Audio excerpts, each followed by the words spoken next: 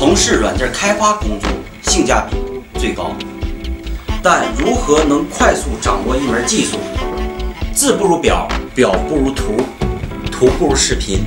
从今往后，我就是你身边的 IT 讲师。学编程其实是一件很苦的事儿。我的目标是够全、够新、够精。听高老师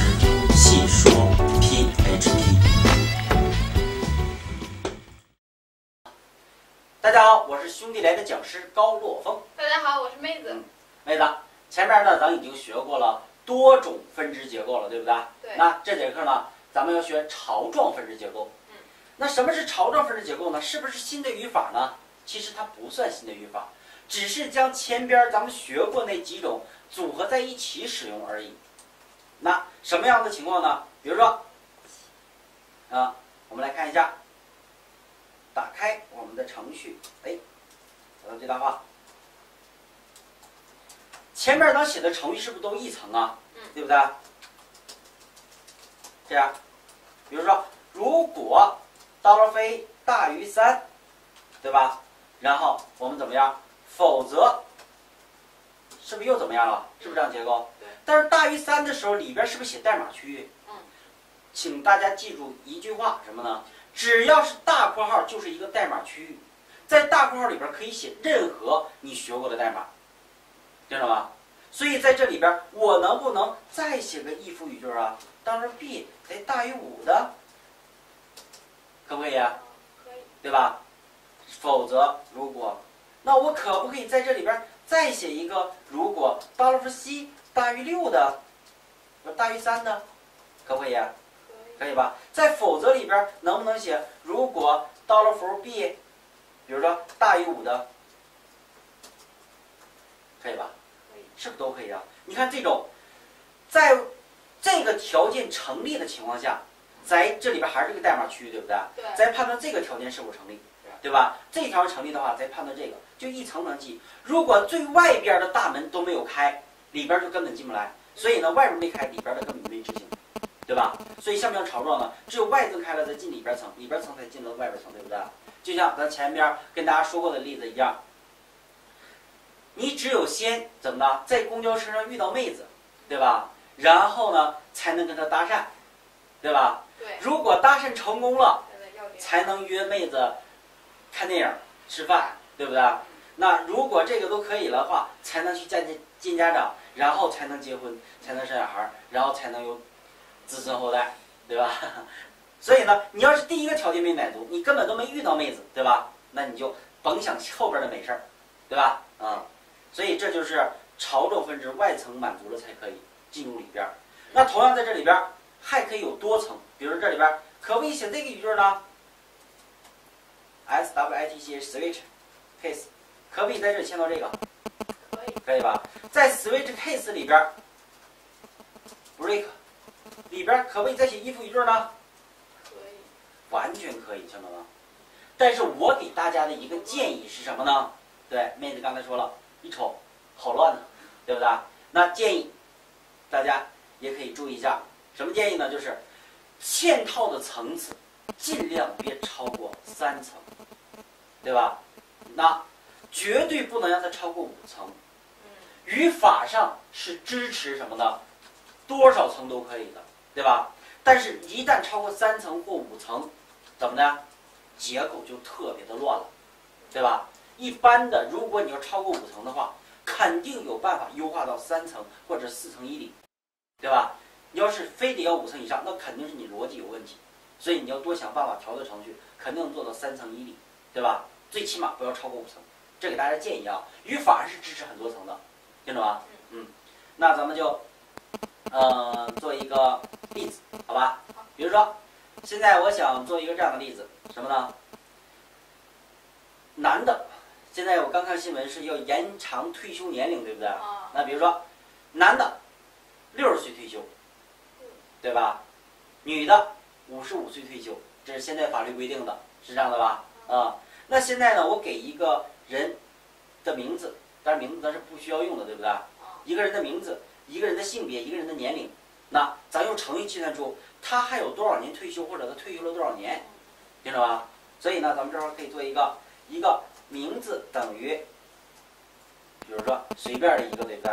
比如说这个名字就叫呃，你，叫叫呃，叫什么呢？就随便起一个吧，叫做 Hello 吧，随便咱起一个名字，嗯，然后咱们这块儿，它是不是还有个性别啊？性别咱有两个值，对不对？对，比如说咱就是男，对吧？然后到了符再来一个年龄等于，比如说三十岁，咱假设一个，对吧？那针对这个程序判断，男人或者女人多久怎么的，多久退休，或者是还退休了多少年，对不对？首先呢，咱们得先知道他是男的是女的，对，对吧？才能知道退休年龄，是不是这样的？嗯，所以呢，咱们就得先判断，如果刀了符性别等于男，那不是男，那就是什么？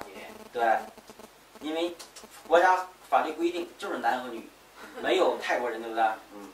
然后如果是男的，是不是就得判断年龄啊？对，只有是男的才能判断他是六十还是多少年龄，对不对？对，是女的才能判断五十五，是不是有这样的一个结构啊？嗯，如果不知道男女的话，你执行里边儿他有多少年退休是不准的，是这样的吧？嗯，所以这块儿是男的，如果到了符年龄大于，这是六十岁，好像也在上面哈，应该就大于六十，是这样的吧？嗯，然后输出谁呢？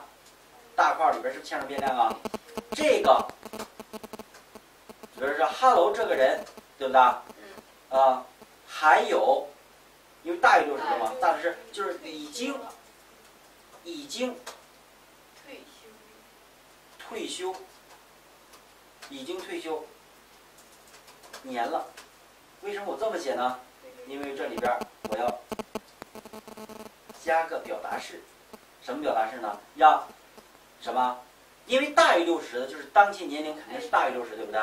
减去六十，是不是就已经退休多少年了？啊，对不对？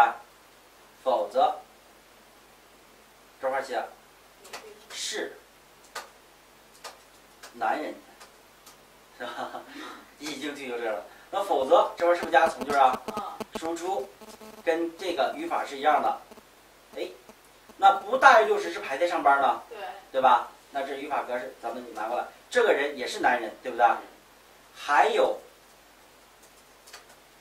还有多少年，这块儿就得变成谁了？对是不是还没退休呢？就得六十减去这个，还有这一年就怎么呢？退休，了，对吧？那女人这块儿，如果到了符年龄大于五十五岁，，否则，对吧？我只要拿上面的语法改一下，他这个人是女人，女人，因为只要进入到这大的否则里边，肯定就是女人，对不对嗯？我不用非得用这个变量加吧，对，对不对？这块也是，是女人，已经退休多少年了呢？这块儿减去五十五，当然这块儿你可以做一个变量，对不对？不然呢，国家法制一变化了，六十岁，比如说变成六十五岁退休了，五十五岁变成六十岁退休了，对不对？那你是不是得改程序代码，改这一个地方，改这个地方，改这个地方，改这个地方，对不对？如果前面做用户变量是不是就好了？我前面跟大家重点提过，如果用值的地方，尽量把值先放到变量里再用，是不是这样？对，啊、当然我这个做例子，这个涉及不到，我就不多说了，对不对？对。啊、然后还有还五十这块变一下，五十五减，去 a 值，对不对？现在这个程序，你看是不是一种潮状的结构？嗯，来，我们运行一下结果。locus 下边的 test 点 php，你看，hello 这个人是男人，还有三十年就退休了，对不对？那咱随便改一个，比如说改个女，对吧？改成八十，对吧？嗯，那我们来运行一下。Hello，这个人是女人，已经退休二十五年了，对吧？所以呢，你只要给这程序提供男人还是女人，他现在多大，咱们就能算出他他是退休了还是没退休，还差多少年退休，或者你退休多少年，对不对？就这样的一个小工具的一个小程序，嗯。咱这程序实际生活中是没多大意义的，对不对？但咱只是用它来介绍潮状分支结构。潮州分支结构指的就是在语句里边可以再嵌套几层，就是这种的结构。嗯那咱们这节课呢就介绍了呃潮州分支结构，那也就是分支结构的所有情况咱们都介绍过了。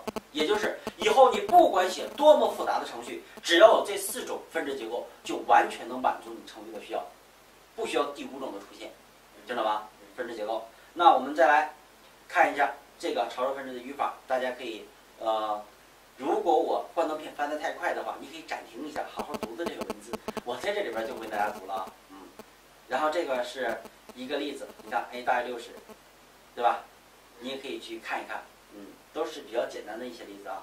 好，谢谢大家，咱们这节课，呃，不光是潮状分支结构讲完了，咱们所有的分支结构已经讲完了。嗯那下节课咱们该到什么了？循环循环，循环吗？循环了吧？